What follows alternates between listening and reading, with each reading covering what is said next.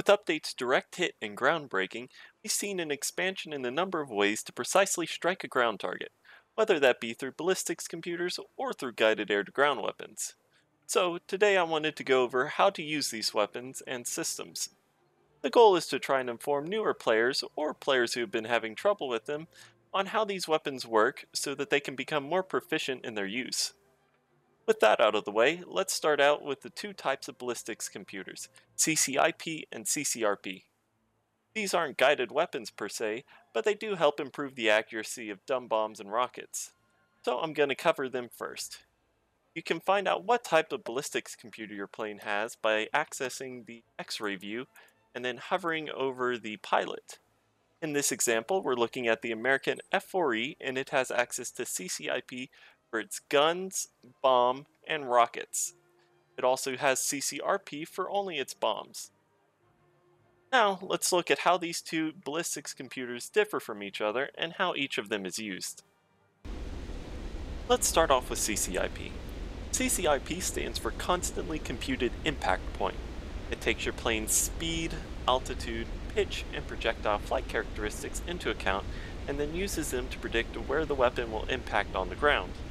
To activate CCIP, simply use the toggle cannon ballistic computer for both your bombs and guns, and the toggle rocket ballistic computer for your unguided rockets. Once the ballistics computer is on, we can begin our attack run. Simply have to nose over and you'll see the reticles change for each of your different weapons. Cannons have a dot in the middle of a circle of lines, rockets have a dot in the middle of an X, and you get the arcade bombing sight for your bombs. Simply place these aiming reticles over the target and use whatever button to launch or shoot your desired weapon. Then we just have to sit back and watch as our weapons fly off and hit the target. On a side note, you may have to adjust to the left or right some if you're using a weapon on one of your outer wing pylons, as the flight path doesn't directly line up with the reticle. Now let's look at CCRP. CCRP stands for Constantly Computed Release Point. It takes the same parameters into account that CCIP does, and then uses them to predict when to release the bomb in order to hit the target. To use CCRP, we first must designate the target we want to hit. We do this by placing a sensor point of interest, or SPI, on the target. There are two methods of placing a SPI. The first is used when you want to go after tanks, pillboxes, or other ground vehicles. Simply place your gun reticle on the target and use the Activate Target Point keybind place a SPI.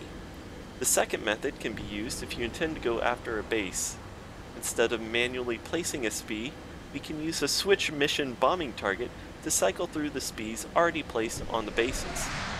Once you have the SPI placed, you will see a green line appear with a circle and a horizontal line on it. Simply fly with the crosshair on the line, and when the horizontal line begins to fall down, press and hold whatever button you use to drop your bombs, and once the horizontal line meets the circle, the plane will drop the bombs on its own. If you're going to use CCRP, I suggest also setting a bomb series drop, so the plane can drop multiple bombs when the line reaches a circle. With CCIP and CCRP out of the way, let's move on to actual guided weapons. We'll start out by looking at a pair of stat cards to understand the important information on them. Here we have the AGM-12C Bullpup and the AGM-62A Walleye. Starting from the top, we have the total mass of the weapon. Next we have the weapon guidance type. There are currently five different types of guidance in the game that we will cover. Next, we have the maximum range and maximum speed. This only applies to weapons that have their own propulsion unit, and lets you know the maximum range that they can reach before self-destructing, as well as the maximum speed that it can reach. Some weapons like the Walleye don't have a set range, as they rely on the launching aircraft's altitude and speed to determine its range. Next is guidance time. Some weapons will only be able to guide for a limited amount of time, and this lets you know how long that is. Following that, we have the explosive type, mass, and TNT equivalent letting you know how big of a warhead the weapon carries. Finally, we have either an armor penetration table or two values for the radius of destruction and radius of fragmentation. With these basics of the stat card down, let's hop on over into the different types of weapons. First up, we have manually guided bombs. The only weapon in this category that I know of is the Fritz X. To guide this bomb, you will need to set up keybinds for both the yaw and pitch axis for aimed weapons. I suggest turning off the relative control setting in the control axis menu for each set of keybinds. This will make it so that after you release the button, the control surfaces on the weapon will return to a neutral position. When you go into the bombardier sight, you'll notice there are four lines forming a box around the crosshair. This is to indicate the area that you can guide the bomb to after you drop it. You'll notice that the square gets smaller as the bomb gets closer to the ground. After dropping the bomb, use the yaw and pitch axis controls that you just bound to guide the bomb until it hits the target. Next up we have the MCLOS, or Manual Command Line of Sight. The Bullpups, Nords, KH-23, and RB-05A all fall into this category.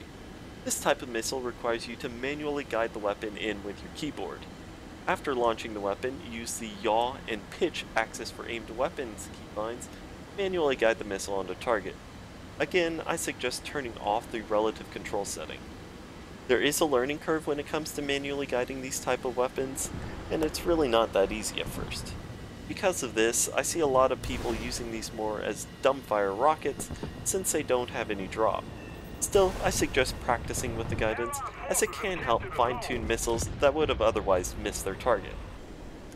Next, let's look at SACLOS, or Semi-Active Command Line of Sight weapons. For now, the KH-66 found on the MiG-21 PFM is the only SACLOS air-to-ground missile. The missile works by having the launching plane use its radar to create a cone-shaped beam facing forward. The missile then uses a guidance unit in the tail to keep itself within this beam. So all you have to do is point your crosshair at the target, launch the missile, and then continue to hold your crosshair over the target so that the missile can track towards and eventually hit the target. Next we have laser guided weapons. The KH-29L, KH-25, BGL-400 and 1000, ASL-30 L Nord, and the Mark 13 all fall into this category. The way a laser guided weapon works is by having the launching aircraft paint the target with the laser from an external targeting pod or a camera mounted to the plane. The weapon then tracks the laser using a sensor found in the nose until it hits the target. There are three different ways of employing a laser-guided weapon based on the type of laser designator you have. The first way is with an external targeting pod that has a fixed camera. This is only found on the SU-17M2 for now, and to use this laser-guided missile, press the Fire Secondary Weapon button to warm up the missile after which you should see the missile go into an acquiring mode with a circle showing up above your crosshair. This circle is showing where the laser designator is pointing. If this doesn't come up right away, use the toggle laser designator keybind to toggle the laser on and off. Next, put the target within the circle, and when in range, you will see the missile go from acquiring to tracking in the top left. Then press the fire secondary weapon keybind again to launch the missile, and then continue to hold the target in the circle.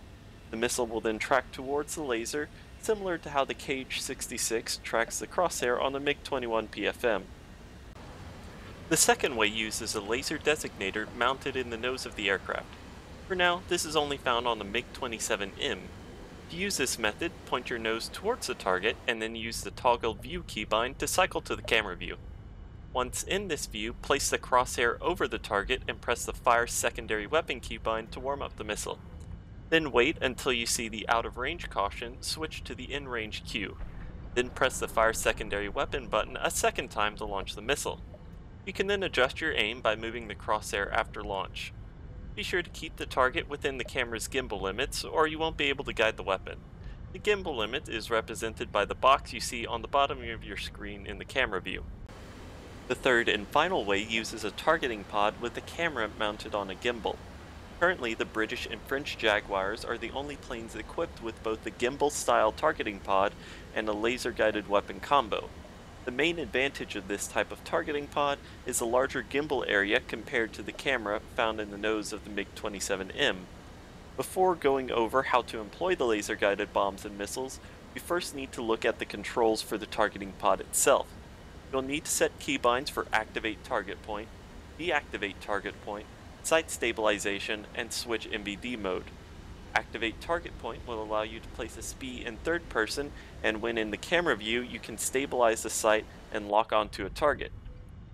A SPI will slave your camera to the position on the ground similar to how a radar can slave an IR missile to a plane. The deactivate target point will allow you to remove a SPI in third person and when in camera view you can unlock a target using this keybind. Sight stabilization will allow for you to place a SPI while in the camera view and to lock onto a target similar to activate target point. The main difference is that after locking onto a target, you can use sight stabilization to continue tracking the target while aiming for a specific spot on the target. Switch NVD mode lets you toggle between any night vision or thermal modes your pod may have access to. When it comes to using laser-guided missiles, you can place a SPI near a group of targets, then switch to the camera view to select the exact one you want to target. Next, use the Fire Secondary Weapon button to power up the missile and then press it again once you are in range to launch the missile. You're then able to turn away from the target as long as the camera has a clear line of sight. If you block the camera with your plane, you'll end up breaking the lock as well. This is called masking. So long as you don't mask the pod, the missile will track towards the target you have lased and destroy it. Laser-guided bombs work a little bit differently. After finding a target and locking it up in the camera view, turn the laser on manually. If you see TRK next to the GBU, that means the seeker head on the bomb can see the laser and will begin tracking after you drop the bomb. If it shows ready next to GBU, that means the seeker cannot see the laser and you need to maneuver the plane until it switches to TRK. Sometimes you may be too far away for the bomb to see the laser. In testing with the French Jaguar, I found this to be about 6 miles. I'm assuming this to be the same with the British Jaguars, but I've yet to get either of them. After you drop the bomb, you're free to maneuver so long as you don't mask the camera. Then you simply have to wait for the bomb to go and hit the target.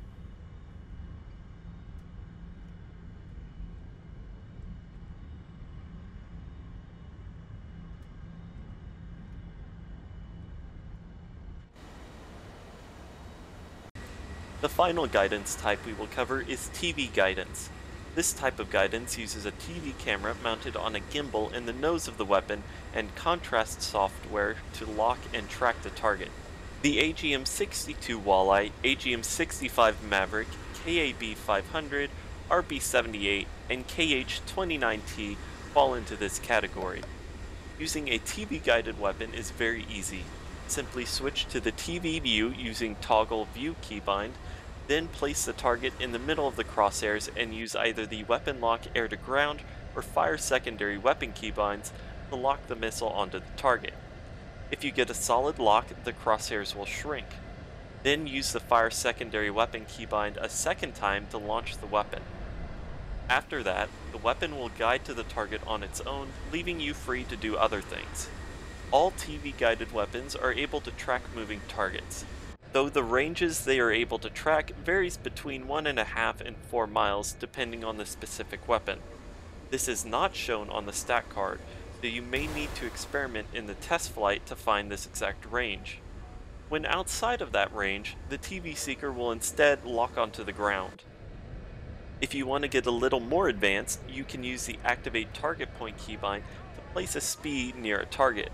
This will slave the TV seeker to that spot, making it quicker and easier to find targets. Also, if you're adjusting your aim and the camera suddenly jumps back to the centered position, don't fret.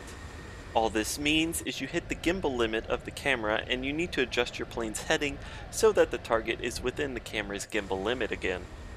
And that covers all the ways to precisely strike a ground target in War Thunder as of update groundbreaking. Whenever newer weapons or systems come around in the future, I'll be sure to go ahead and update this guide to include them. Until then, I hope y'all enjoyed the video and were able to learn a few things. As always, thanks for watching, and I hope y'all have a wonderful day.